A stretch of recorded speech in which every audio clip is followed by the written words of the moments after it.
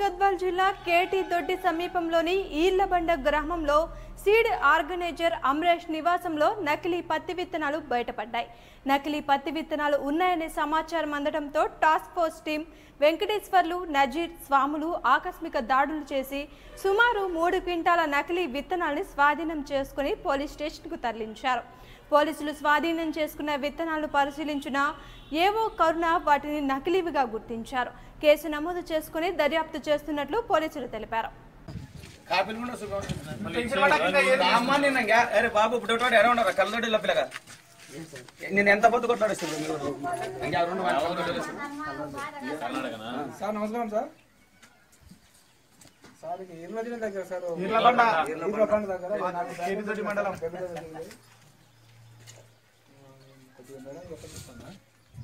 Sir అది అదిగా అవి మా ముట్టలేదు కానీ మేము ఇది ఇది రోజు. ఉన్నాయి. ఇంకా రాలేదు సార్ దానికి నాకు ఫోన్ లేకపోలేదు అవి అవి మేము చెక్ చేయలేదు సార్ ఇంకా అది ఫౌండేషన్ మేము వేరే లేదు మంచిది సార్. ఫౌండేషన్ ఉంటుంది కదా ఫౌండేషన్ ఇంకా చెక్ చేయలేదు సార్ నేను ఆ, ఆమె వచ్చినప్పుడు ఉంటుంది.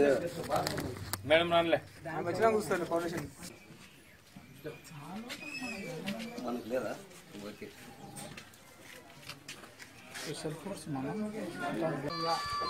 అదే ఏ మాసం కదా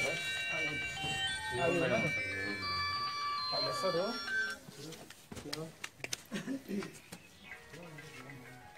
వస్తారు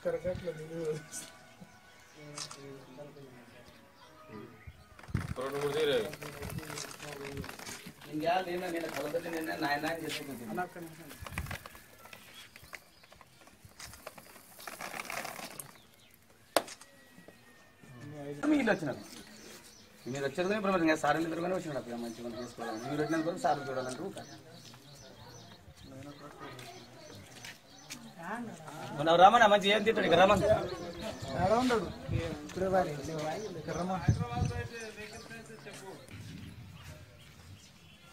ఇవైతే సార్ ఇవైతే ఇంకా చూడుకొని తెలుసు పోయి ఏమంటే ఇల్లు మన ఒడ్డు పడేటప్పుడు ఇంకా?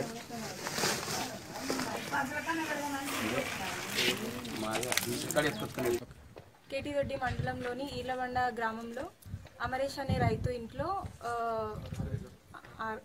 అమరేష్ అనే ఆర్గనైజర్ వాళ్ళ ఇంట్లో విత్ పత్తి విత్తనాలు దొరకడం జరిగింది.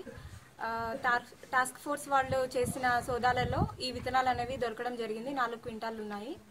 ఇవి దీనికి సంబంధించిన కొన్ని డాక్యుమెంట్స్ ఇచ్చారు. ఇంకా మిగతా డాక్యుమెంట్స్ ఇవ్వాల్సి ఉంది. ఈ డాక్యుమెంట్స్ ఇచ్చాక అది కేసు చేయాలా లేదా అనేది మేము ఒకసారి ఎంక్వైరీ చేసుకొని దాని తర్వాత కేసు చేయడం అనేది జరుగుతుంది. ఈ విత్తనాలు నకిలీవేనా?